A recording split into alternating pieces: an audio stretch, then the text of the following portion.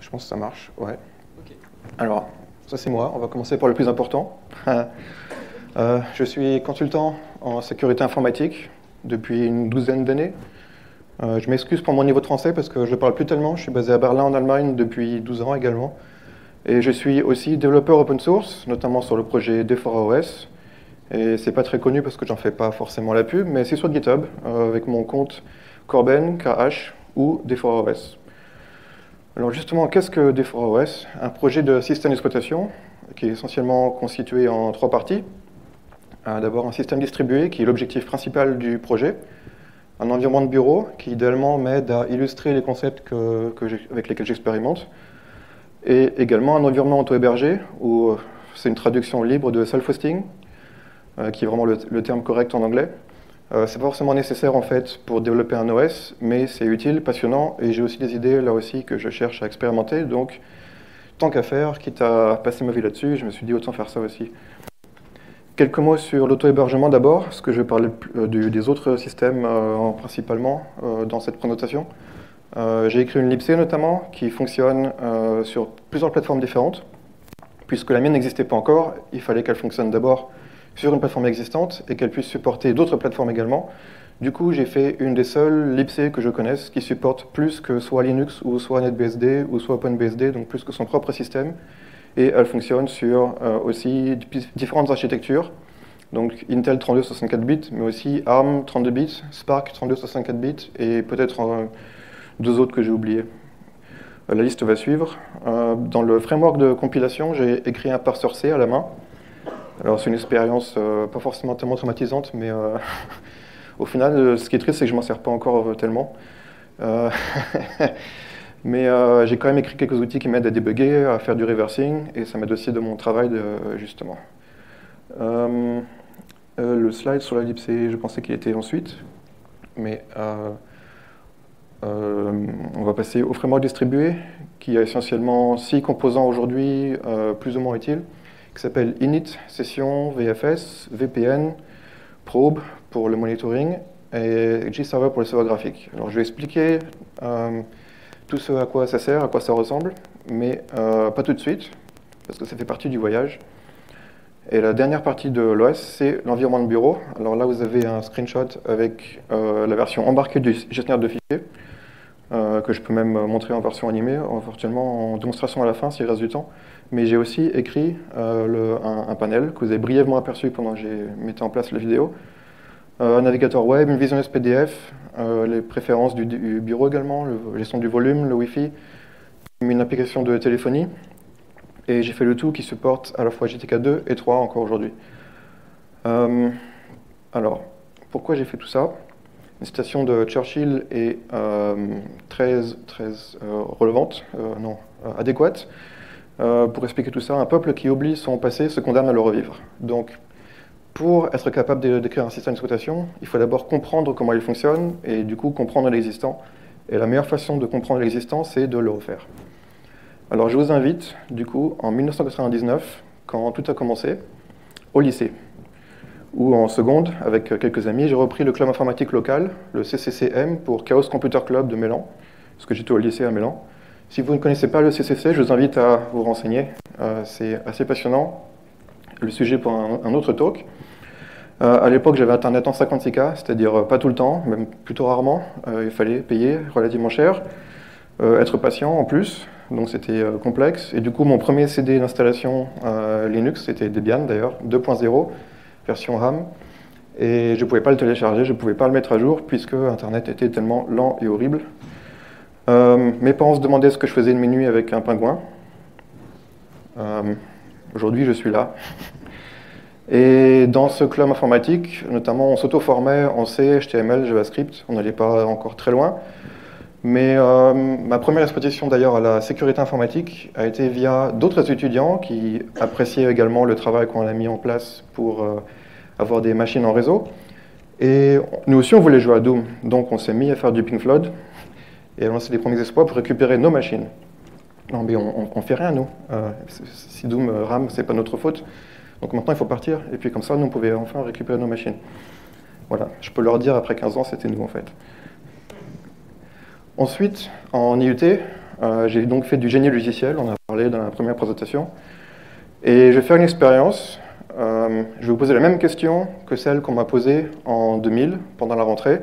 J'étais en amphithéâtre comme ça, au premier rang, et le professeur a demandé qui connaît Linux. Alors, qui connaît Linux?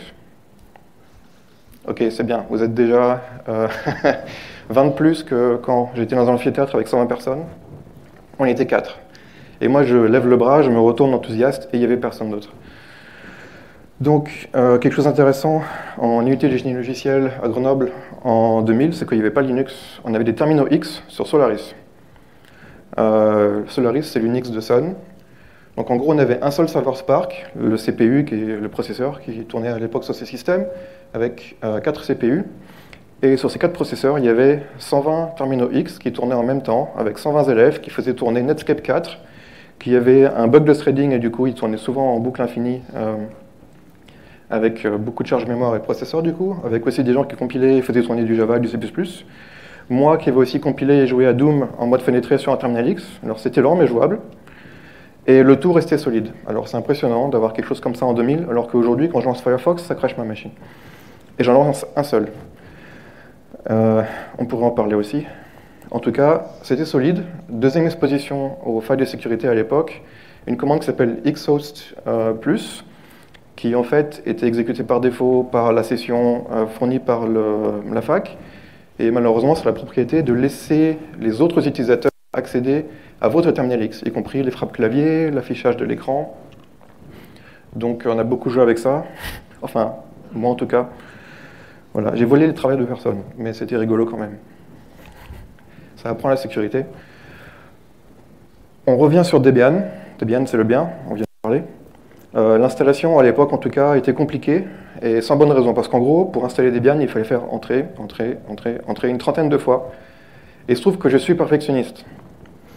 Alors je me suis dit, quand même, on peut faire mieux que l'installeur Debian, et vu que j'étais mon petit étudiant dans mon coin, et que je ne connaissais pas de développeur, et, que tout ça, c'était quand même un peu intimidant, eh ben, euh, j'ai fait un fork de Debian, qui s'appelle Defora GNU Linux, et en fait, Defora, c'est pour Debian for All. Maintenant, vous savez.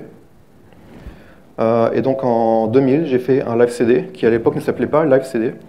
Bon, en fait, il y avait un tutoriel sur comment lancer euh, une distribution éducative sur un CD sans l'installer.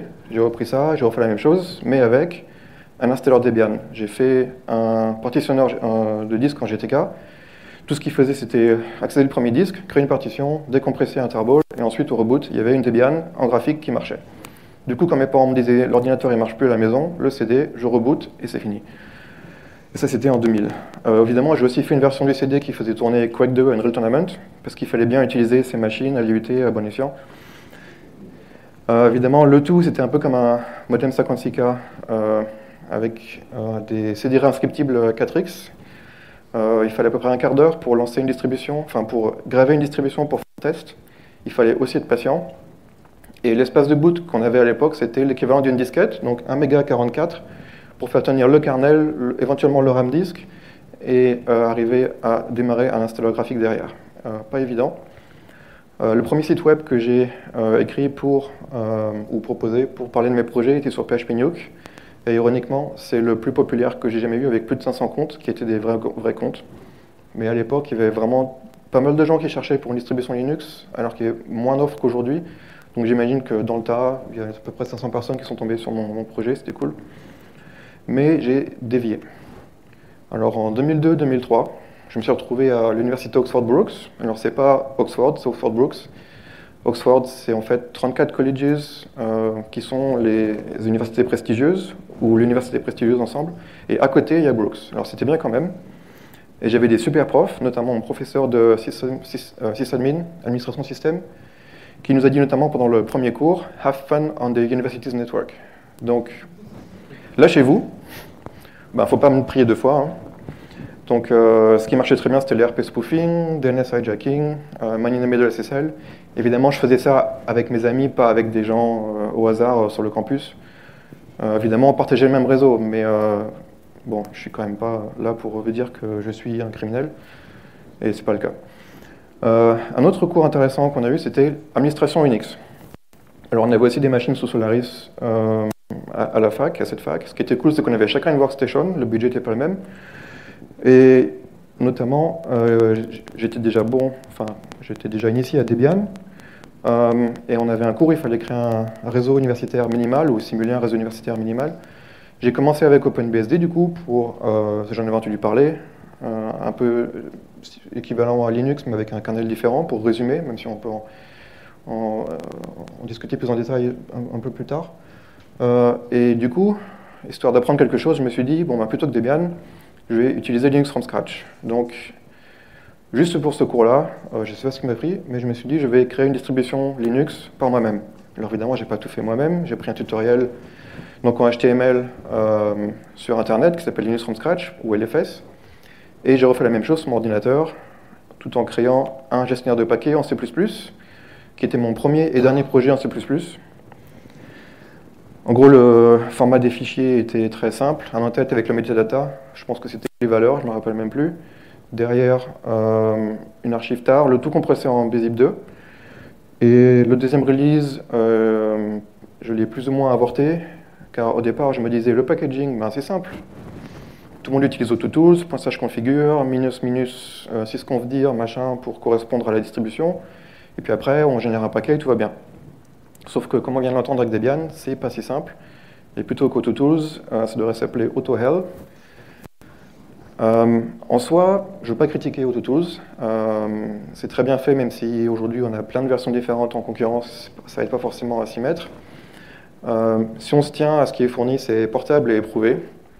Le problème, c'est que quand on package à peu près 600 différents logiciels, on se rend compte que personne ne l'utilise de la même façon. Et surtout, quasiment personne ne s'en sert correctement. Alors, c'est complexe, c'est un problème difficile d'être portable, donc je veux, euh, à nouveau, pas, je ne veux pas critiquer euh, plus qu'il ne faut euh, GNU AutoHell, mais pour illustrer, j'ai mis mes photos de vacances à Hawaï. Apparemment, ils ont un peu d'activité volcanique par là-bas. Et du coup, je me suis dit, ben, plutôt que de critiquer, je vais essayer de faire mieux, ou en tout cas, essayer de faire quelque chose d'équivalent. Et du coup, tout le projet des 4OS utilise de simples makefiles, euh, ce serait pénible de les écrire à la main, donc je les génère. Et pour les générer, j'écris un programme en C qui s'appelle configure. Euh, il fonctionne avec GNU et BSDMake, car Makefile n'est pas forcément un format très standard. Disons qu'il y a deux mouvances majeures, GNU et BSD. Euh, ça a des raisons historiques, on pourra aussi les évoquer si vous voulez pendant les questions. Et en tout cas, je supporte aujourd'hui avec ce framework, ce mini framework, des programmes en C, C++ ou assembleur, Objective-C, même Verilog. Euh, optionnellement, je supporte libtool. Il est possible de compiler les objets euh, en dehors de l'arbre des sources pour euh, ne pas encombrer tout et pouvoir éventuellement même compiler pour différentes architectures en même, temps. Et je supporte aussi l'addition ou l'ajout de scripts annexes pour étendre les possibilités du, du, framework. Donc en fait, il est capable de faire à peu près n'importe quoi. Et dans les sources de D4OS, c'est dans apps, devel, source configure ou configure.git sur GitHub. On avance encore un petit peu. Euh, je me suis retrouvé en école d'ingénierie informatique en alternance, retour à Paris. Euh, et évidemment, j'ai eu des cours, même si je n'allais pas forcément beaucoup. Et notamment, j'avais un cours de développement système où on a eu euh, comme projet d'écrire une mini-libc, donc myprintf, euh, quelques fonctions euh, de standard input, standard output, une, une ISTD, euh, des fonctions système qui peuvent être soit directement les appels système ou des applications, enfin des, des, des, fonctions qui sont spécifiques à la libc, implémentées par la libc, sans toucher au noyau, ni la Corse. et du coup, je me suis dit, pourquoi s'arrêter là? Alors, j'ai écrit une libc, elle a commencé comme ça. Et c'est là où je viens au slide qui explique ce qu'elle supporte jusque-là. Alors, elle fonctionne sur euh, macOS, sur 64 bits Intel. Sur FreeBSD, je gère actuellement deux architectures. Euh, sur Linux, 4. Sur NetBSD, un peu plus, parce que c'est ce que j'utilise le plus souvent. Et je supporte aussi OpenBSD, 32 bits ARM et Intel. Euh, Spark Solaris, mais je n'ai pas testé depuis des années parce que j'ai plus de machine qui tourne en ce moment. Et WhiteX, c'est un projet de noyau qui n'a pas été démarré par moi, mais un, collègue euh, de la communauté open source. Euh, et malheureusement, il a arrêté de travailler là-dessus. Mais le code est encore là. La version actuelle, c'est 0.4.1. Là, vous avez un exemple du fichier racine du framework de compilation. avec juste le nom du paquet, la version, ses clés valeurs comme un format init, euh, les sous-répertoires qui sont actuellement utilisés par la libc, ensuite un simple makefile, la licence, la documentation, parfois j'en écris, et ensuite deux en-têtes. Très bien. Alors maintenant, c'est là où tout a rebasculé à cause d'IRC. Alors aujourd'hui, vous avez peut-être euh, WhatsApp, Signal, euh, Telegram, Threema, je ne veux pas en exclure. Euh, mais en gros, il y, a beaucoup de systèmes pour communiquer. et à l'époque, c'était surtout IRC. Je me sens vieux quand je dis ça comme ça. Et non seulement ça, mais en plus, j'avais le luxe d'avoir un laptop et un desktop en tant qu'étudiant, et de passer plus de temps sur IRC que je ne voudrais l'admettre. Et du coup, il me fallait une solution pour synchroniser les logs. Et c'est là où est né le concept de D4OS, ce qui le différencie d'un Unix classique. Donc on est passé de D4 GNU Linux à D4OS, puisque pourquoi s'arrêter à l'ellipse et pourquoi ne pas écrire mon propre noyau? Famous last words. Et du coup, on en vient au protocole D4OS, euh, ce qui est euh, décrit dans le framework distribué, la, la, version distribuée du système, la partie distribuée du système, pardon où j'essaie de séparer l'interface utilisateur de la logique applicative elle-même. Du coup, le front-end se connecte au back-end, comme le ferait XChat sur un bouncer. Euh, donc, le client IRC sur ce qui est vraiment connecté au serveur. Du coup, le client IRC se connecte sur un pseudo-serveur IRC qui garde les logs, qui garde les, connexions ouvertes. Et quand on rentre chez soi, on bascule du laptop ou du desktop ou n'importe en se connectant sur le bouncer à nouveau. Donc, pour ça, il faut synchroniser l'état interne entre les instances d'une application, donc le bouncer en, soi. Dans ce cas, c'est les serveurs auxquels je suis connecté, les canaux, les conversations, les messages déjà lus, etc. Euh, j'aurais voulu avoir ça aussi pour les newsgroups, par exemple, euh, dont je me sers encore. Euh, il fallait adapter du coup l'affichage à l'interface home-machine, puisque je n'ai pas la même configuration d'écran entre mon laptop et mon desktop. Donc en gros, on en vient à HTML1, la version 1 de HTML, telle que sortie initialement par euh, je ne sais plus comment il s'appelait, du CERN, euh, sur son ordinateur Next. HTML1 était fait pour fonctionner autant en noir et blanc que sur un écran 16 bits ou euh, un affichage autre. Il n'y avait pas besoin de s'occuper de ce à quoi ça allait ressembler ensuite. Et c'est tout le contraire de HTML tel qu'on s'en occupe, aujourd'hui. Donc pour moi, on est en régression. Mais en gros, je voulais faire la même chose que ça, mais avec GTK+, en, C en tout cas pour la base. C'est parce que ça fonctionne sur différents systèmes euh, et aussi parce que j'apprécie énormément le, look and feel GTK+. Et pour simplifier tout ça, vu que je ne suis qu'une seule personne et que j'ai l'ambition d'écrire tout un système, euh, je me suis dit je vais écrire une librairie qui implémente euh, ce framework pour moi et ensuite j'ai juste à l'utiliser sans devoir réimplémenter de couches réseau à chaque fois. Du coup, ça s'appelle libapp. Je lui donne une définition du, protocole que je vais discuter. Un peu comme aujourd'hui, on verrait euh, Google, je ne sais plus comment ça s'appelle, Protobuf. Protobuf. Donc cette librairie implémente la couche réseau, génère l'interface implémentée par le programme, et du coup, j'arrive à, créer une informatique distribuée, un peu comme Corba, sans écrire de code réseau. GNOME avait aussi proposé la même chose à l'époque, mais ça n'a jamais vraiment été implémenté. Donc premières expérimentations, je me suis dit, je vais prendre une libc, je vais euh, simplement chercher les symboles dans la mémoire, comme open, read, write, euh, show mode, show, access et tout ça, et les mettre sur le réseau. Ça va devenir mon VFS puisque je veux écrire un microkernel. Donc tous mes appels système vont, être distribués, que ce soit en local ou à distance. Donc pour tester, autant faire ça avec une IPC à distance. Donc j'ai juste fait un wrapper de, de librairie générique que je pouvais appeler à distance avec une serialisation et un appel de fonction à distance. Et là, je me suis rendu compte qu'en prenant juste le binaire euh, libc, en exposant juste les, appels système de lecture-écriture de, fichiers à distance, j'ai implémenté un équivalent de Samba ou NFS sans écrire de code. Je prends juste la librairie, je décris le protocole, je lui donne la libc et c'est fini. Alors évidemment, il y a des problématiques, pardon, de sécurité. On ne peut pas exposer tout son système à distance à n'importe quel utilisateur euh, comme ça. Donc il faut des wrappers, il faut euh, en gros euh, wrapper chaque appel système pour vérifier que l'utilisateur a les droits. On en vient à la sécurité comme, comme ça a été déjà mentionné. Mais si on applique le même principe à l'API socket BSD, on implémente un VPN. puisqu'on exécute connect non plus en local, mais éventuellement à distance. Pareil, receive, send, même la, lecture euh, DNS, on peut très bien avoir Getos by name qui est exécuté à distance sur une autre machine, et on a la perspective de son réseau, et plus la sienne. Du coup, on a un VPN. Et j'ai fait pareil pour OpenGL. Et du coup, j'avais l'équivalent de X sans écrire de code non plus. Je l'écris juste, euh, le protocole va être les fonctions OpenGL qui en fait sont très pratiques à mettre en réseau, puisque la plupart prennent des valeurs euh, fixes, des entiers, des flottants, etc. Et vu que j'ai écrit un wrapper shell pour la libapp, je me suis retrouvé à pouvoir scripter en OpenGL avec un, script shell. J'ai malheureusement pas la démo aujourd'hui, elle ne fonctionne plus puisque je suis en train de réécrire une grosse partie et c'est un peu cassé. Mais euh, si vous avez la patience, je peux essayer de montrer un peu à quoi ça ressemble. Et avec, avec tout ça, je me suis rendu compte qu'un seul protocole suffisait pour tout. Ce protocole peut même se transmettre lui-même, puisqu'on peut très bien dire, OK, le protocole il passe des messages, je vais faire un protocole qui, qui envoie des messages, qui du coup est un proxy, et du coup il peut même se, transmettre lui-même.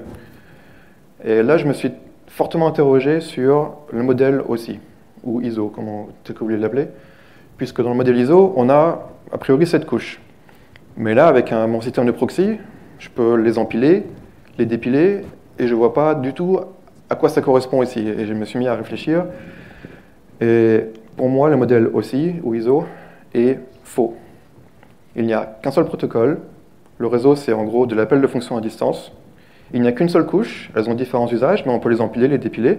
Chaque couche parle à ses voisines, donc elle n'a pas besoin de connaître celle qui est de au-dessus ou de en dessous ou les autres.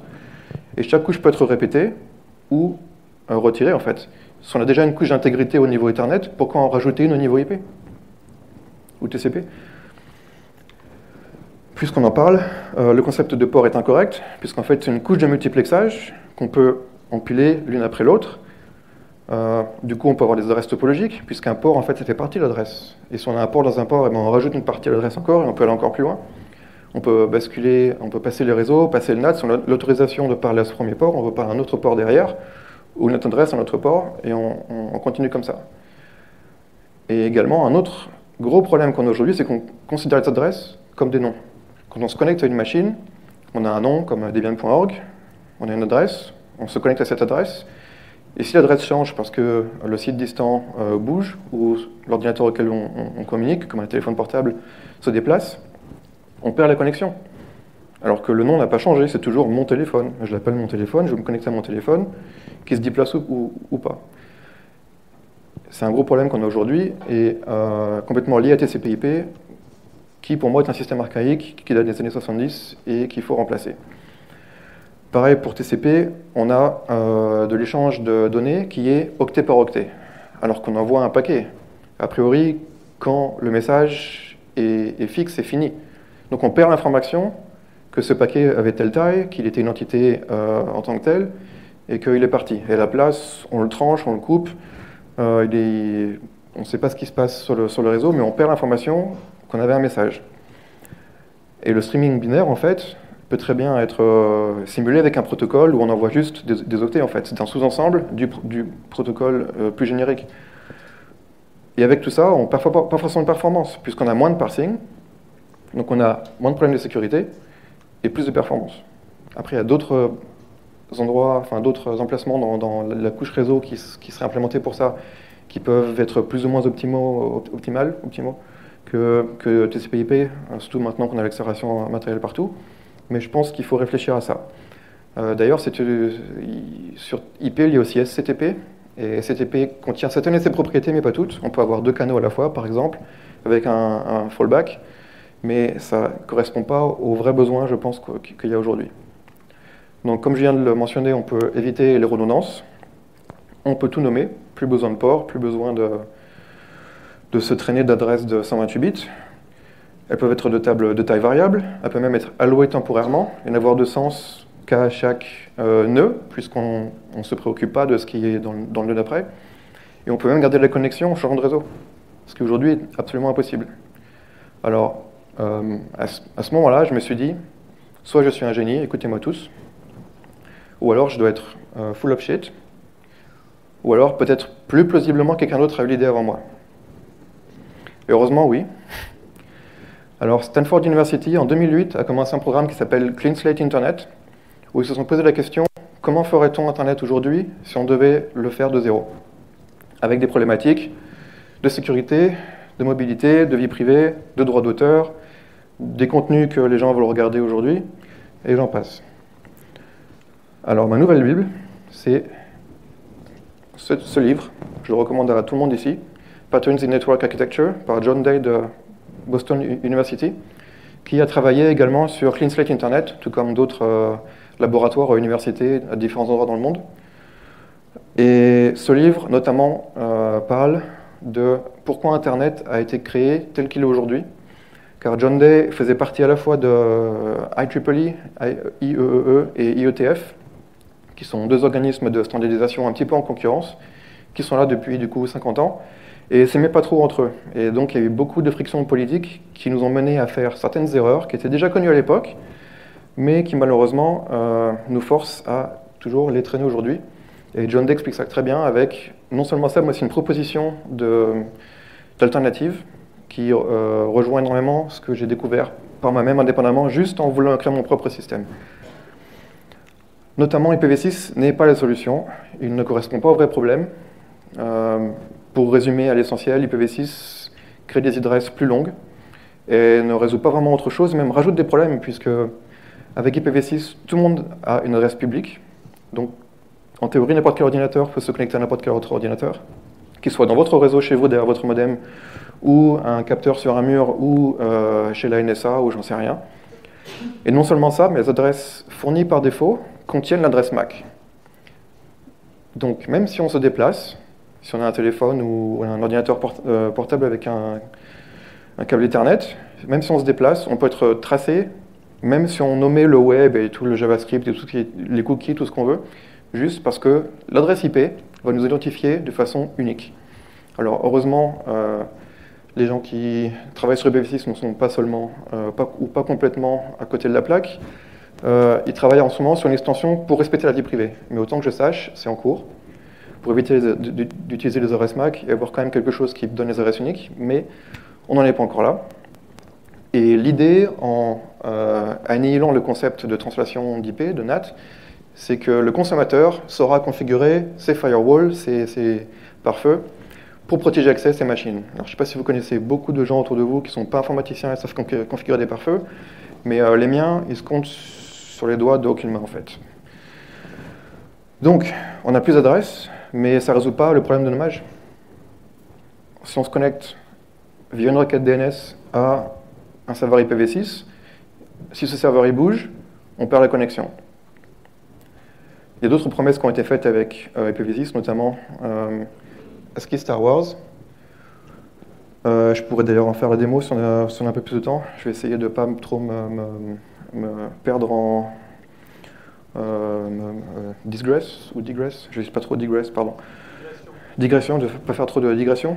Mais en gros, la promesse de, ce site qui promet Star Wars en ASCII, qui fonctionne, j'ai la démo ici, promet une version en couleur de cette euh, démonstration, malheureusement, voici la même en IPv6. C'était un mensonge. Et ça illustre également le problème, le concept de dual stack. Aujourd'hui, pour migrer de V4 à V6, on demande au système d'héberger le même contenu en V6 et en V4, mais en pratique, c'est jamais forcément pareil. Il y en a même des gens qui promettent de faire quelque chose de différent. Bon, pas ici, mais... Je reviens au DNS. On utilise DNS pour savoir où se connecter, Sauf que pour se connecter, il faut avoir une adresse. Donc pourquoi, pour faire du DNS, il faut qu'on sache où se connecter en IP d'abord euh, Ça ne fonctionne pas. C'est, euh, pour, moi, DNS fonctionne au mauvais endroit. Il devrait être fourni au niveau Ethernet ou PPP, donc dans la, couche réseau ou une couche intermédiaire éventuellement, et probablement par le fournisseur d'accès, qui soit votre routeur en local ou euh, votre fournisseur d'accès DSL si vous êtes en DSL. Avec tout ça, on en vient même à un nouveau modèle économique où, en plus du fournisseur d'accès classique qui vous donne la, connectivité, vous avez des network brokers. Euh, en gros, ça expose euh, ce qui serait Colt ou les fournisseurs de, de bandes passantes au reste du monde. Puisqu'on a Internet qui est censé être un réseau de réseaux, pourquoi on ne pourrait pas tous avoir nos propres réseaux? Par exemple, moi, je voudrais avoir un réseau qui relie mon laptop, mon desktop, mon ordinateur chez moi, euh, mon téléphone, et que personne d'autre ne puisse y accéder. Et la meilleure façon de, résoudre ce problème, c'est de leur donner chacun un espace de nommage différent, où il ne puisse pas y avoir d'évasion. On pourrait aussi avoir un réseau pour accéder à Facebook, qui serait du, coup public par définition, un réseau pour accéder aux requêtes Google, un réseau pour euh, son Netflix, euh, un réseau pour euh, élargir ses images de chats à ses cercles familiaux ou à ses amis, et peut-être séparer ça des images du travail. Tout ça sur les mêmes appareils. Du coup, ça revient à faire du VPN à la demande, sans forcément passer sur un réseau global avec éventuellement n'importe qui qui puisse euh, faire du money in the middle dans, son, dans, son, dans, le VPN, vu que ça se passe une couche en dessous, en dehors du réseau global. Alors malheureusement, je ne peux pas démontrer tous ces principes aujourd'hui. Euh, ça prend du temps de, de, faire tout ça, surtout c'est ambitieux. Euh, si c'était facile, ça se saurait. Mais la réalité aussi, c'est que l'industrie pousse des quatre fers contre ça, alors que ça fait depuis 2008 qu'on sait déjà qu'il y a ce potentiel économique gigantesque aussi pour le respect de la vie privée, pour donner une vraie solution IPv6 mais ce n'est pas la priorité aujourd'hui. Et pour m'en sortir quand même, euh, euh, je recommande, de, ou pour s'en sortir généralement, je recommande de choisir ces étapes de façon euh, si possible. évidemment, quand on commence, on ne sait pas. j'ai fait une erreur tout de suite. J'ai commencé par le noyau, puisque c'était ce qui avait l'air d'être le plus sexy, et c'est compliqué. Et non seulement ça, mais le matériel est compliqué. L'industrie fait ses propres choix, on a une compatibilité qu'on se traîne depuis des années, non seulement avec le réseau, mais aussi avec le matériel, euh, que ce soit ACPI, APM, euh, soit Intel ou, ailleurs, il y a le même problème aussi. Les terminaux, l'émulation terminale. Et également, on a des gouvernements qui freinent les quatre fers pour pouvoir nous surveiller, garder les systèmes actuels de lawful interception, euh, interception légale de communication, puisque ça existe. La police, si elle veut, peut accéder à vos communications téléphoniques ce qui pose problème aujourd'hui avec WhatsApp et Signal et compagnie, on le voit. Et euh, là où l'industrie freine les quatre fers euh, également, c'est se remarque avec les travaux qui, ou comment dire, la conséquence des études de Stanford University. Stanford a actuellement en fait fermé le champ d'études Clean Slate puisqu'ils ont créé Open Network Foundation pour continuer à travailler dessus. Sauf que ce qu'ils font dans cette fondation, ce n'est pas de créer le nouvel Internet, mais de travailler sur Software Defined Networking, qui est aussi euh, super intéressant. On peut prendre un routeur classique, un Cisco, un Juniper ou autre, et s'il parle le protocole SDN, on peut simuler Internet à l'intérieur. Alors si vous êtes euh, technicien en réseau, j'imagine que c'est le cas, euh, vous connaissez sûrement déjà, je ne vais pas vous apprendre le goût de l'eau, mais si vous ne connaissez pas, je vous recommande fortement de vous intéresser à ça. Ça vous permettra d'expérimenter à grande échelle avec juste un switch classique. On revient au voyage. En 2005, j'étais à l'INSIA, comme mentionné. Euh, en cours d'administration système, cette fois, à nouveau, faites un réseau d'entreprise. Euh, un professeur euh, assez cool, puisqu'on avait le droit de pirater les autres équipes. Donc, évidemment, bah, cette fois-ci, je suis passé au CVE, Remote Code Execution sur Red Hat à l'époque. Et donc, euh, vu que les autres utilisaient Red Hat, ben, j'avais un shell chez eux. Après, on n'a pas été trop méchants, on n'a pas tout effacé, euh, mais on a bien, ils ont bien compris la, leçon. Et vu que nous, on avait ce niveau-là, le professeur nous a dit, eh ben, vous, vous n'avez pas le droit d'utiliser Linux. Pas de Linux pour vous. Cette fois-ci, j'ai retenté l'expérience avec OpenBSD en serveur, ça a marché. De toute façon, on n'a pas le choix puisqu'il fallait un réseau LDAP et que OpenBSD supportait LDAP qu'en serveur et pas en client, donc c'était le serveur. Et ensuite, euh, je ne connaissais pas encore NetBSD à l'époque, mais mon professeur faisait des cauchemars avec à l'EPITA quand il avait des travaux euh, partagés à faire, fonctionner sur euh, station alpha. Et du coup, ma punition, c'était il fallait que je m'occupe d'un client NetBSD. Et sept ans plus tard, ça s'est transformé en j'intègre le projet NetBSD, puisque je suis tombé amoureux du système, et même aujourd'hui, depuis un an, je suis membre du comité, euh, du directoire, c'est en français, je ne sais pas, de la fondation NetBSD. Alors NetBSD, c'est super, euh, merveille d'architecture, donc portable. Le NetBSD est réputé pour fonctionner partout, euh, c'est le cas, mais en fait, ça n'a jamais été l'objectif du projet. L'objectif, c'était plutôt d'être techniquement correct, quitte à pas forcément supporter tout tout de suite, ironiquement, beaucoup de développeurs qui voulaient faire fonctionner un BSD ou un Unix, que ce soit Linux ou autre, sur leur appareil qu'ils venaient d'acheter au magasin, se sont retrouvés à se dire, OK, NetBSD est là, avec un, un cœur de système qui est très bien conçu, qu'on peut réutiliser énormément, et du coup, il y aura juste quelques fichiers à implémenter pour, pour porter le système sur mon appareil. Et c'est comme ça que ça se passe. On a, par exemple, pour décrire tous les drivers, euh, tous les matériels qui est détecté, un arbre, contrairement à Linux où c'est un joyeux bordel. Euh, on a un graphe avec des nœuds, des, des, feuilles.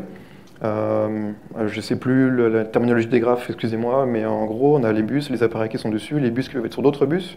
Le système de base est cohérent et stable, puisque contrairement à Linux, vous avez un morceau de glibc là, un morceau de GNU là, un morceau d'autre chose ici, puis on essaye de faire fonctionner ça ensemble. Et en fait, ça ne fonctionne pas, puisque je l'ai appris lors du, Linux from scratch. Il faut prendre des versions spécifiques à un instant donné pour que ce soit à peu près connu que ça fonctionne ensemble. Avec BSD, toute la base du système est, construite ensemble. Que ce soit NetBSD, FreeBSD OpenBSD, vous avez un serveur DNS, un serveur DHCP, euh, tout ce qui est nécessaire à faire tourner un réseau complet dans la base du système et qui va fonctionner toujours à un moment donné. Et par-dessus, vous avez les packages qui étendent. Avec NetBSD, ce qui est génial aussi, c'est qu'on cross-compile par défaut. On n'utilise pas juste GCC directement pour euh, compiler le noyau et espérer que ça fonctionne alors qu'il est censé générer des binaires euh, userland. Par défaut, sur NetBSD, quand vous compilez NetBSD, ça cross-compile. Même si vous faites AMD vers AMD ou ARM vers ARM, d'abord cross-compiler et ensuite on, on, produit les binaires finaux. Et du coup, on peut aller très facilement sur NetBSD de n'importe quelle plateforme à n'importe quelle autre. Ça facilite le développement énormément. Euh, également, on a l'innovation qui euh, arrive, happen, euh, qui, est NetBSD est une plateforme qui permet l'innovation, on va dire, notamment avec le AnyKernel Rump, qui permet en fait de re, reshape, redimensionner ou remodeler NetBSD de différentes façons. On peut très bien prendre un cœur NetBSD et mettre quasiment tous les drivers en userland, et du coup on a un microkernel et ça marche. Bon, c'est super lent, c'est pas, pas bien supporté, mais le, système est là et fait de telle sorte qu'on puisse le remodeler. Euh, c'est portable et pas seulement d'une architecture à l'autre, également en interne. Et euh, quelque chose que peu de gens savent, notamment surtout quand ils parlent de Linux euh, et de sa présence dans le monde, c'est que BSD en fait est très utilisé, même si c'est pas forcément connu. Par exemple, la libc d'Android, c'est la libc de BSD. Et notamment, les développeurs de Google de la libc Android sont en communication avec nous pour développer dessus. Les piles TCP/IP de Windows NT et BlackBerry, depuis qu'ils ont racheté QNX, c'est BSD. Dans macOS, vous avez de grosses parties qui viennent de FreeBSD, et certains produits Apple fonctionnent même sous NetBSD, directement, pas sous iOS. Euh, Dell a racheté une entreprise qui s'appelle Force10, qui fait des routeurs. Ils sont sous NetBSD. Alors je ne sais pas si depuis le rachat par Dell, ils ont changé euh, le, cœur du système ou non. Mon téléphone VoIP Panasonic, euh, que j'ai acheté comme ça sans savoir, j'ai lu le manuel un jour et j'ai vu, par mon nom dedans, mais quasiment, euh, la, licence utilisateur NetBSD avec les copyrights, les noms des développeurs euh, qui étaient à l'époque responsables pour le kernel, dans le manuel d'utilisateur. Et c'est pas sur la boîte, il n'y a pas écrit Linux avec un pingouin, mais NetBSD est là.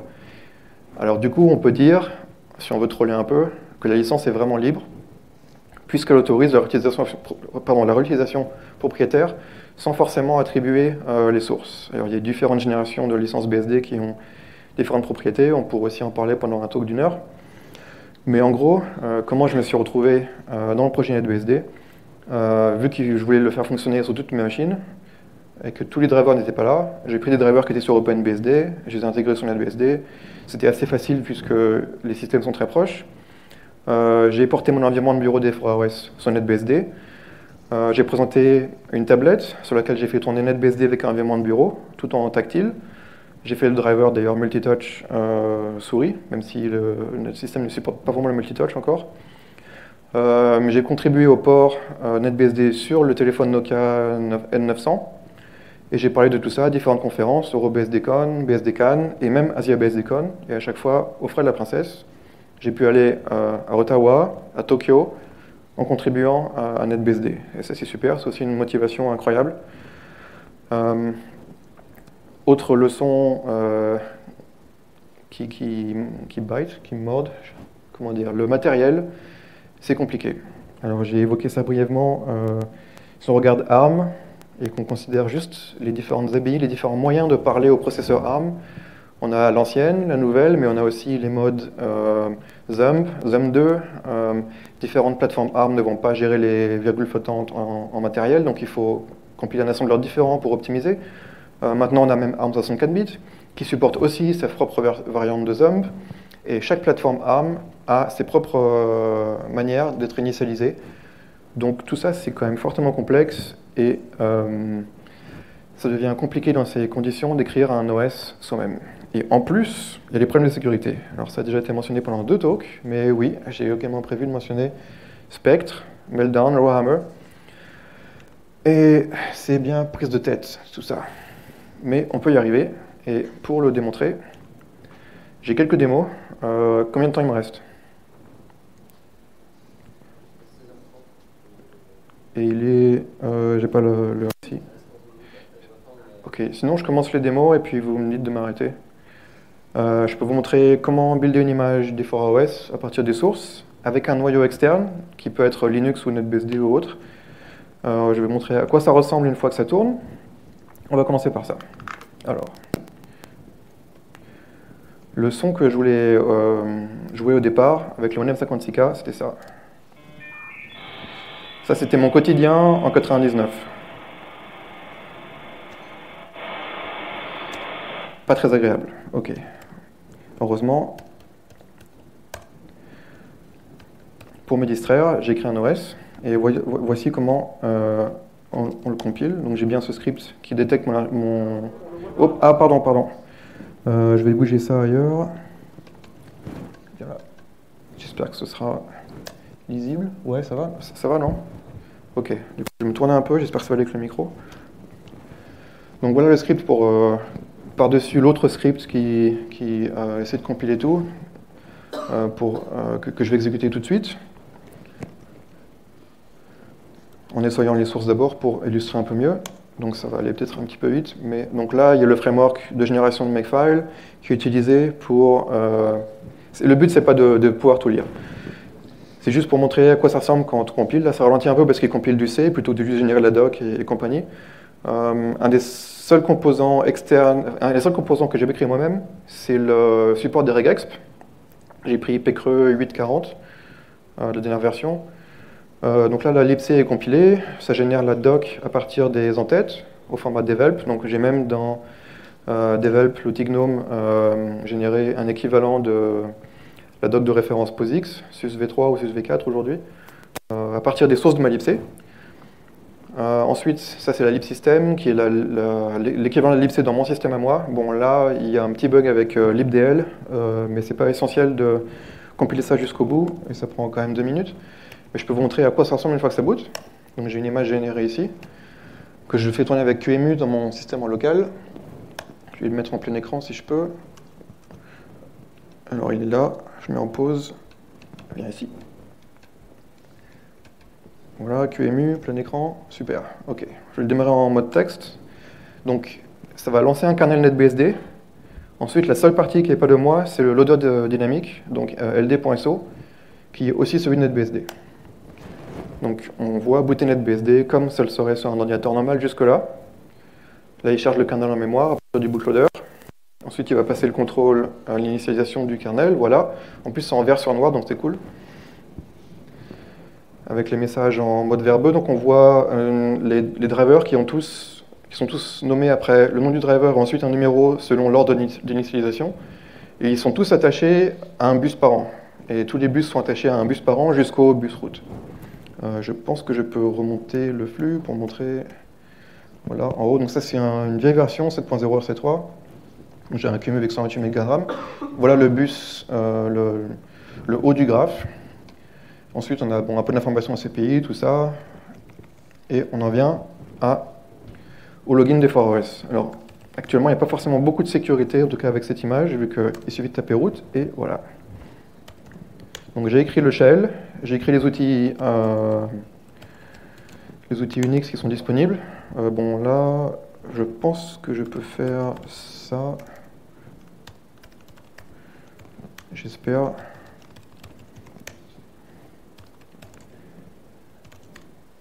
Non.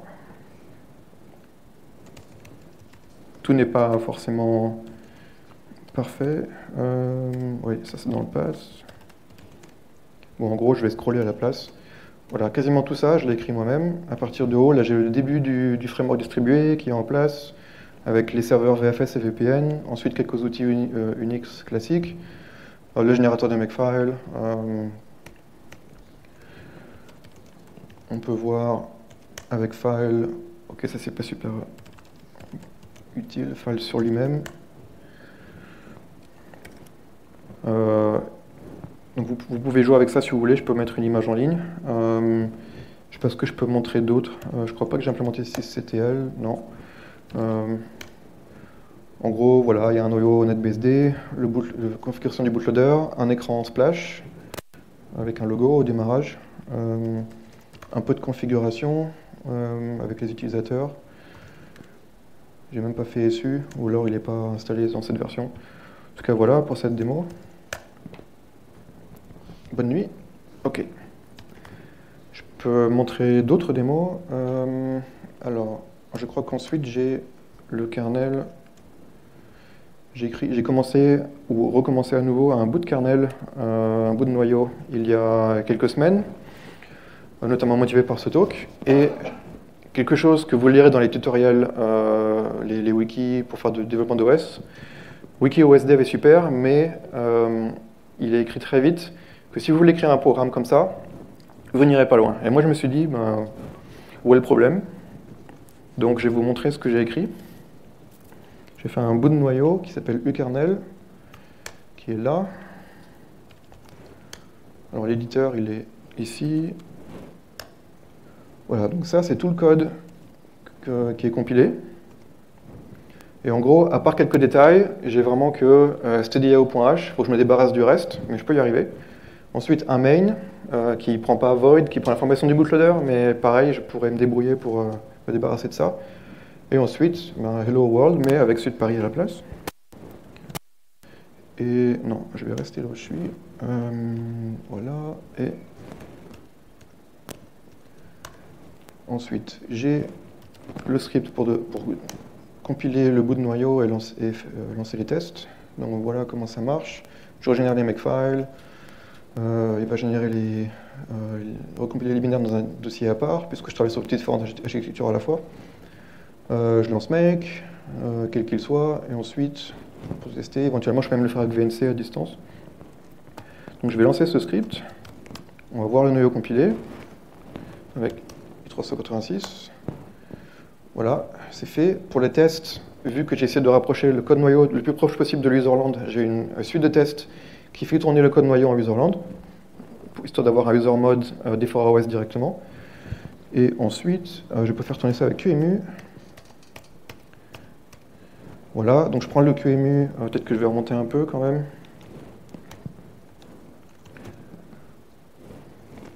Donc je lance QEMU en 32 bits avec mon kernel directement. Ce qui est génial, c'est que QEMU supporte le mode multi-boot tout de suite. Donc j'ai un loader qui en fait qui est booté tout de suite, qui va ensuite charger mon kernel. Et normalement, si tout va bien, malheureusement, le QEMU est là, mais ça allait un peu vite. Euh, si je le mets en plein écran, voilà, j'obtiens ça. Je vais essayer de rebooter, je ne sais pas si CTRL SUP va fonctionner, non. Sinon, je pense que je peux communiquer à QEMU que je veux faire autre chose. J'ai découvert ça récemment. Euh, où est ma souris Ou mon application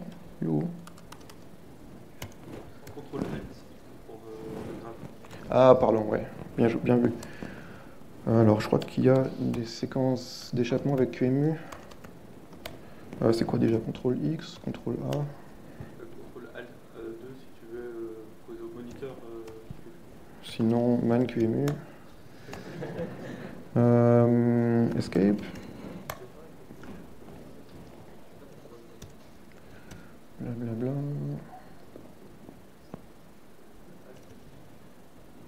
C'est pas ça. Ouais, c'est CTRL A, CTRL A, je pense, ou CTRL AH. Alors, est-ce que c'est ça? On revient à QEMU, il était là. Euh. Non Ou alors je me suis trompé de, en le lançant. Enfin bref, j'ai essayé de le rebooter pour qu'on voit quand même un peu mieux comment ça boot. Euh, ou alors si je mets la souris là, ok, je vais tenter. La souris est ici. Non. Ok, désolé, il apparaît de mon côté d'abord. Je ne vais pas jouer avec euh, Xrender tout de suite. Euh, est-ce que j'ai d'autres démos que je peux montrer? Alors le ASCII Star Wars, pour revenir à ça, ça existe vraiment? Vous vous connectez en telnet à towel.blinkenlights.nl sur le port 23 et vous avez Star Wars en ASCII. Donc si vous embêtez au boulot et que vous pouvez faire que du telnet, voilà. Euh, libc, comment builder la libc, le...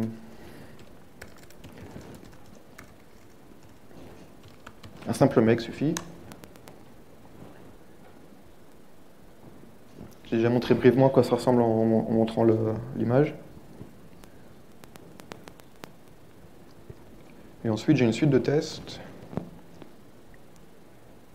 qui tourne ici. Et ça m'a même permis de trouver des bugs parfois dans le noyau ou dans des, frameworks de fuzzing ou, autres, euh, en réutilisant mes, mes, composants ici, qui du coup sont linkés avec la libc si je prends LDD Erno, il utilise la libc qui est juste euh, dans un répertoire parent. Euh, pour, pour, les tests, c'est super. Euh, le navigateur de fichiers, alors j'ai une version embarquée, ou alors, disons, la version pas embarquée qui est là, avec une barre de menu classique, basique. j'ai aucune honte à dire que je m'inspire de Windows 95 pour, pour faire ça, évidemment en utilisant aussi les innovations qui ont eu lieu depuis, il y en a eu un paquet, heureusement. J'ai aussi une intégration CVS, par exemple avec NetBSD, puisqu'on utilise toujours CVS dans NetBSD. Je peux interagir avec CVS comme ça. J'ai une intégration Git, ce qui m'est utile pour HBSD. Donc avec des plugins, à chaque fois, je réutilise le code ou la logique logicielle du navigateur de fichiers et je l'applique à différents contextes. juste en réécrivant un petit bout de plugin, j'ai eu comme une nouvelle application en fait. Donc j'ai fait ça aussi pour Subversion, euh, la corbeille implémentée là, monter, démonter les volumes. Euh, évidemment le widget Places de GTK, qui ressemble plutôt à ce qu'on a sous Mac OS X. Voilà, si vous préférez ça. Moi j'ai pas de document. Euh, pour la démo. Et ensuite, j'ai également un navigateur de fichiers euh, qui est fait pour l'embarquer, donc pour mettre sur tablette ou téléphone.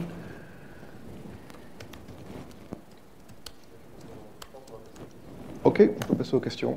Un équivalent, mais pas de, pas de barre de menu, juste les icônes pour interagir au doigt. Éventuellement, elles peuvent être faites plus grosses. Et j'ai différentes customisations qui peuvent être appliquées au niveau GTK pour rendre la chose plus euh, user-friendly, plus amicale. Utilisateur amical? Non. Bref, euh, pour conclure, avant les questions, je remercie évidemment tous ces Savariacés qui m'ont servi pendant tout ce temps. Euh, John Day pour son excellent livre, euh, Thor, Edward Snowden, GNU-PG, Bruce Sterling, Cory Doctorow pour la science-fiction, ma troupe de théâtre, Langsec, Pnoelite, THC, WikiOSDev, tout le monde qui est gentil, qui est bien. Merci à vous pour votre accueil et votre écoute. Euh, vous pouvez me contacter par email ou euh, sur Twitter. Malheureusement, le site web de Defora est down et j'ai pas réussi à le remettre en place avant de venir. Mais heureusement, les arbres, les, repositories, les, les, les repositoires, les dépôts, merci. Les dépôts guides sont euh, sur cette adresse et aussi sur GitHub. Et j'espère vous avoir convaincu un petit peu de mon grain de folie et de mes découvertes. Voilà. Merci.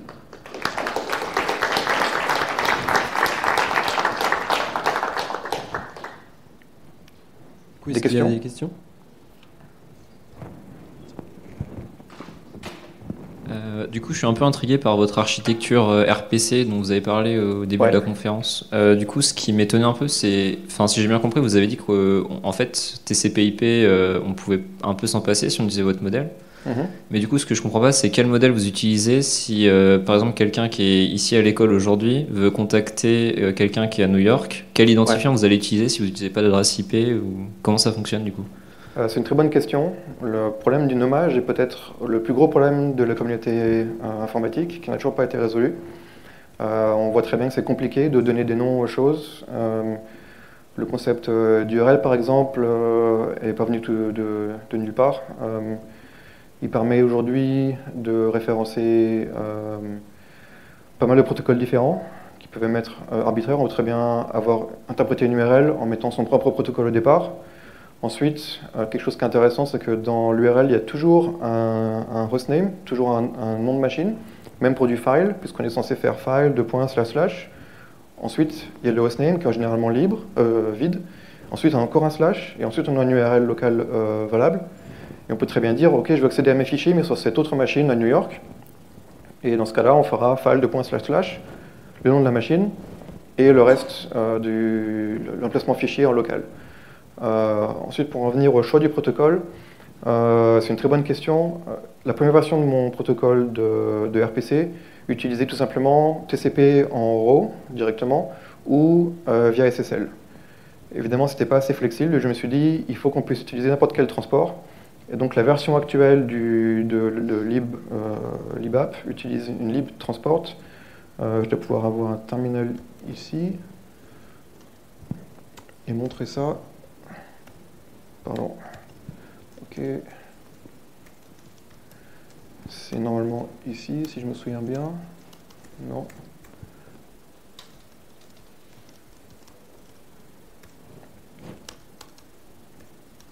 Du coup, là, ok, j'ai ça. Alors, je me perds dans mon propre projet. Trop de choses. Peut-être que c'est là. Ok, c'est pas une librairie à part, ça fait partie du, de l'IBAP. Et du coup, euh, j'ai implémenté un protocole self qui se connecte à lui-même. Euh, je pense qu'il utilise même directement, euh, qui cherche dans sa propre mémoire les symboles qu'il cherche à utiliser. Donc TCP et UDP. Et pour ce qui, est, ce qui va plus loin, on peut aussi considérer qu'on pourrait utiliser HTTP pour ça, par exemple, puisque HTTP c'est juste un transport comme un autre. Et pour ça, euh, je pense que j'ai une extension plus loin. c'est peut-être ici. Ouais, c'est là que ça s'appelle transport. Ok.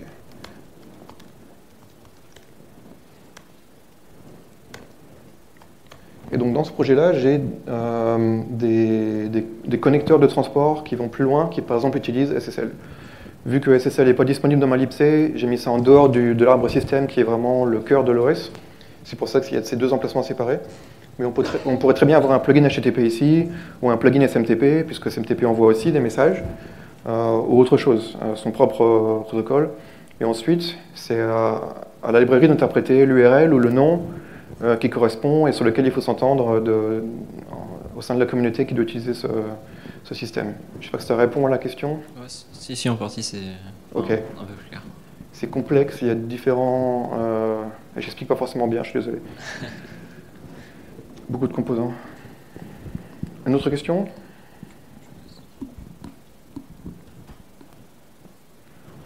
Hmm, Non Ok, dans ce cas, je vais vous remercier à nouveau. Ouais, merci à vous. Et puis donc on va pouvoir faire une pause.